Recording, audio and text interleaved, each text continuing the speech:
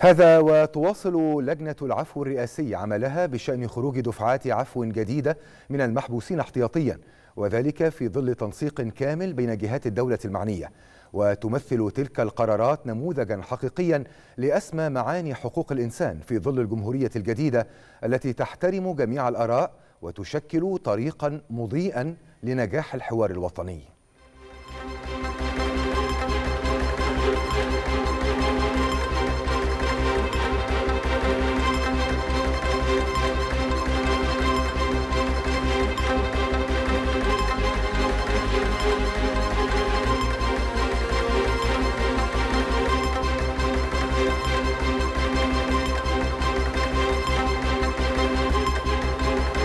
Thank you.